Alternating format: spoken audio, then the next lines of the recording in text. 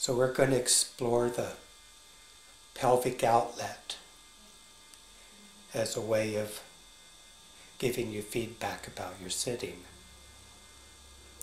So there's a triangle formed as you feel your right sit bone, left sit bone, and pubic bone. If you need to, you can use your hands to feel the two sit bones and the pubic bone and feel that triangle. And then there's another triangle that's from the two sit bones to the tailbone. Okay, and it's those. I'll start this over again. The tailbone is here. Go down, okay. There. Okay. Okay, now we're going to explore the pelvic triangle, the pelvic outlet, as a way of giving yourself feedback about your sitting and to guide your relaxation in sitting. So there's a triangle that's formed from your right sit bone to the left sit bone to the pubic bone. So you can feel those with your hand if you need to. And then there's another triangle that we don't use in sitting. It's from sit bone to sit bone to tailbone. Okay, so as you're sitting, feel that front pelvic triangle.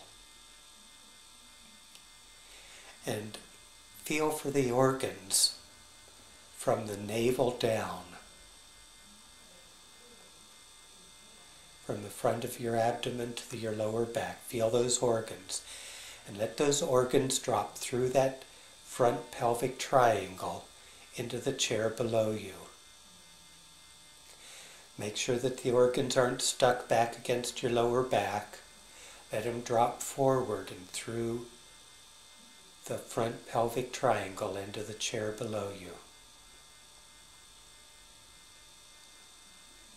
When you have a sense of that, we'll look at the pelvic organs from the navel to the pit of the stomach. And we want to let those also drop through the pelvic triangle into the chair.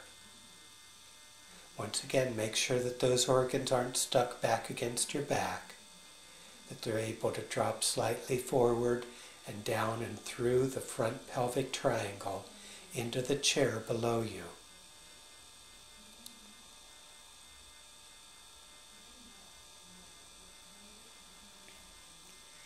And now we're going to explore the organs inside the rib cage. Not asking you to relax the ribs or the back, but find the organs inside and let those organs also drop down through the front pelvic triangle into the chair below you.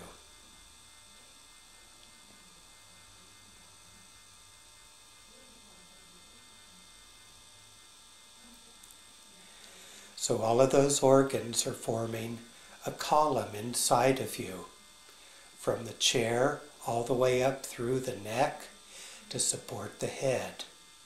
So breathe through that column of flesh.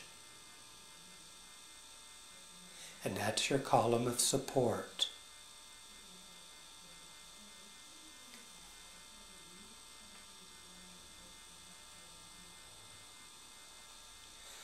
For a half a century in Rolfing, we've used the term core, but I no longer use the term core because it's confused with abdominal and pelvic muscles in various forms of exercise now.